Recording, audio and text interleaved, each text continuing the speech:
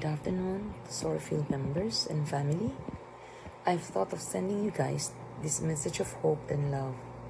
It certainly is very challenging for all of us on what this pandemic has brought the world as well for the past couple of months. Never have I seen such a huge impact to the world on the effect of this COVID 19. This virus knows no boundaries. Young or old, healthy or not, whatever your gender is, race, ethnicity, all are at risk to be affected. The fear and anxiety amongst patients is surreal. The unpredictability of the conditions that you have right now, the unavailability of some medications, the difficulty of consulting with your doctors amidst enhanced community quarantine. When will all of this lockdown end? All of these add to the burden each one of you and your family members are worrying at this time. Nandito po ang Philippine Rheumatology Association upang tulungan kayo at maitawid natin ng sama-sama ang pagsubok na ito. Hindi man natin makamit ng buong buo ang ating kahilingan sa buhay, pero wag ho tayong mawala ng pag-asa. Every day, as we wake up to greet the bright morning, there will always be hope.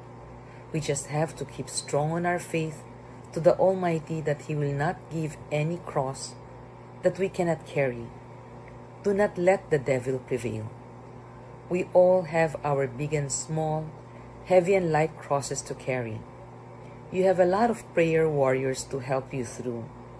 Do not give up. It should not even cross your mind that giving up is the best answer to your problem. Kapit bisig lang po tayong lahat.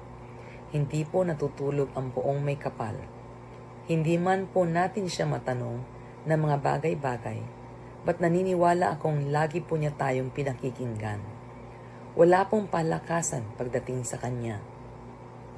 Lastly, PRA has to thank Joseph and all your national and local officers for leading your organization to where it is now. Despite his own challenges, he's always there to be everyone's voice. As a token to him, kailangan din po kayong lahat to stand strong for yourselves and your families. Your rheumatologists will be eager to see you back in the clinics once the situation goes back to its normalcy soon. Promise, walang iwanan. Stay safe po kayong lahat lagi. Bye.